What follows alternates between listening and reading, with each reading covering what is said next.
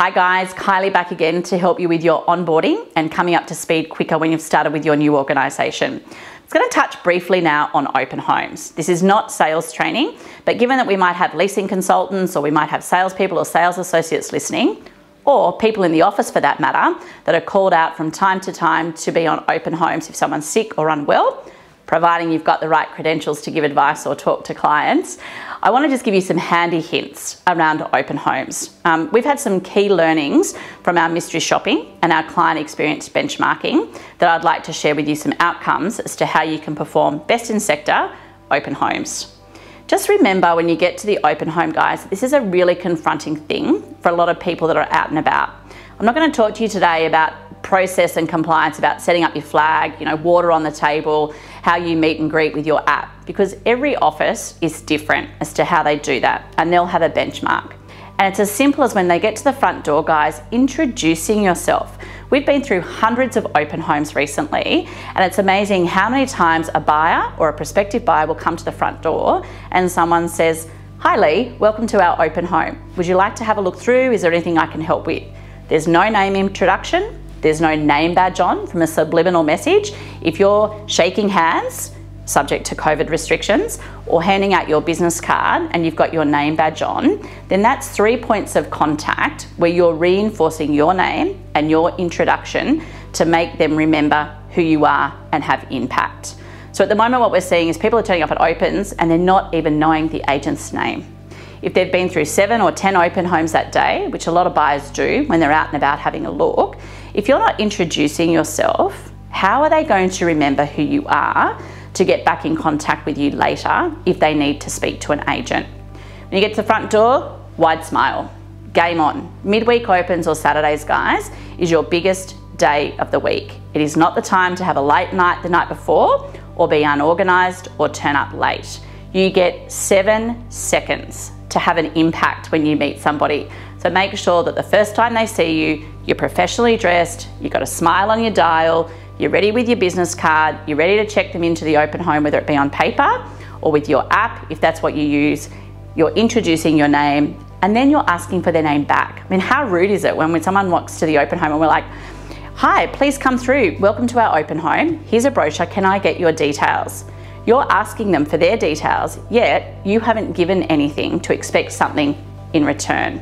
Try and qualify guys when they come through the open if they're researching the market or they're here today to buy or to rent a property. It's only a little thing, but we're asking them for their first name, their surname, and can I ask you, Bill, where are you coming from today? So you can find out their suburb. Because obviously, if they're a local homeowner or investor, you want to know about that. So when you call them back later that day or on Monday, you can qualify potentially if they're in need of an agent to come through and do an appraisal on the property. But importantly, if someone is marketing, doing marketing research or researching the market, fair chances are they might have something to sell. Or, Mr. and Mrs. Client, are you looking to buy today? Fancy that, it'll tell you if they're a buyer. When they're going through the property, depending on how many people that you've got in the home and whether there's two agents at a home, will qualify the, the time that you might have to build rapport as they're going through the property. A lot of people will like to have a look through the property themselves, or if it's a larger block of land or you're in an area that it might need to have defined the boundaries, then you should be asking the client, Bill, would you like to have a look around the property? And then I might catch you out the front and we'll have a look at where the boundaries are or Bill, could I walk you through the property and then we'll go out the back and have a look at the boundaries or would you prefer to walk through yourself? Now I get, depending on the market, you might have 30, 60, and I've even heard recently about open homes where there's been 150 people going through the open. So it's all about capacity. But the quieter it is, guys, the more opportunity it is for you to build that connection and be memorable for somebody when they come through the open home. Everybody lays information out on the kitchen table. When you're laying things out on the kitchen table, guys, I want you to think about what you're actually putting out and are you self-promoting or you're actually providing materials on the table that are valuable for the client. Handy hints when thinking about selling. If someone walks out with that, fair chance they're thinking about selling. Stamp duty ready reckoners. Um, what's happening in the local area, like a what's on? What have you got to offer in your property management department? Etc., etc. So it shouldn't just be a whole wall of spamming about your awards and your face. That comes later when you're nurturing the relationship. Always have music on, always have doors open, nice, light and airy, and making sure that you are connecting at every opportunity throughout the open home. There's lots of other things that I can talk about opens, but I'm gonna say to you right now, and listen to this clearly. If you wanna have impact in your career, and you wanna really add value to a consumer, call them back on Saturday afternoon if you can. So going back to the office or going home, the way tech is now, you can ring them from anywhere. But when you ring them back, guys, don't ask them about the property. This is a chance for you to connect and be different and say, hey Bill and Mary, just thought I'd give you a call. We met at 50 Smith Street today. I just wanted to see how the open homes went. Did you get through many? Didn't really get a chance to connect with you at 50 Smith Street. Just wanted to see if I could inquire at the property that you came through, is that actually the price at which you're looking? And that might lead into a whole right of conversation around their budget and all those sorts of things. But that call on Saturday, guys, is to connect, show that you care, ring and say that I've entered you into the database and I just wanted to qualify your criteria.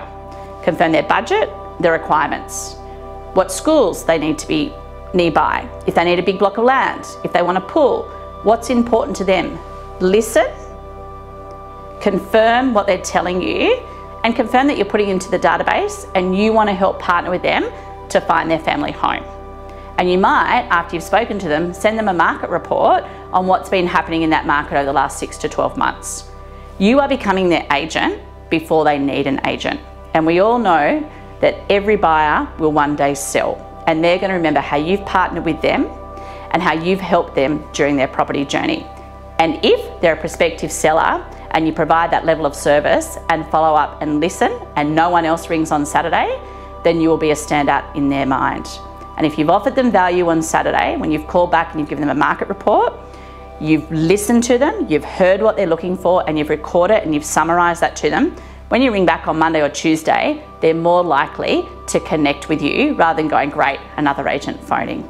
And don't be afraid to say, Bill and Mary, I don't want to be that agent that spams you everything. I want to make sure that what I'm sending you when I reach out is relevant to your buyer journey and that you're getting it how you want to get it. So do you want me to text it to you? Do you want me to email or want me to phone when a new listing comes online? So guys, all those things that we spoke about in our client experience series early in this onboarding webinar will be relevant to how you do your open homes. It is your chance to shine. It is your chance to connect. So make sure that you prepare and that you're ready and you do your open homes differently to your competitors.